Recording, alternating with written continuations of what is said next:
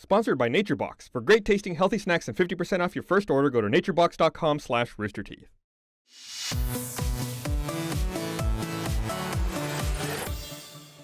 Welcome to the Know. My name is Gray, and Google has just revealed its latest version of the self-driving car, which is exactly what it sounds like, a driverless automobile that runs on its own, with no one behind the wheel. How cool and or crazy is that?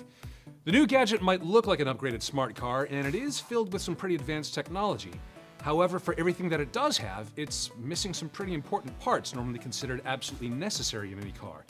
For instance, there's no steering wheel, accelerator pedal, or the most unusual choice of all, no brake pedal. Try selling that to a first-time car buyer. But don't think it's just going to drive itself aimlessly down the streets until it suddenly decides to shut down. It's fully electric and it has two buttons that will start the car and stop it in an emergency. Oh, and did I mention that the car does have cup holders, so that completely makes up for the lack of brake, steering wheel, and gas pedal, am I right? In terms of the car's safety, the windshield is made of a flexible plastic, and the front of the body is made up of a soft foam to lessen the amount of damage potentially caused in an accident. And the car also has sensors to combat blind spots and help indicate objects that might seem closer than they appear, like up to two football fields away. For the last test, the car's top speed was capped at 25 miles per hour. However, in a bold statement by Google co-founder Sergey Brin, he says there is nothing to say that once you demonstrate the safety, why can't you go 100 miles per hour?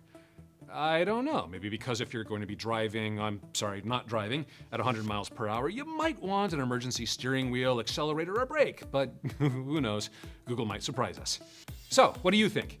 Is Google's new no person, no wheel, no pedal car cool? Dangerous?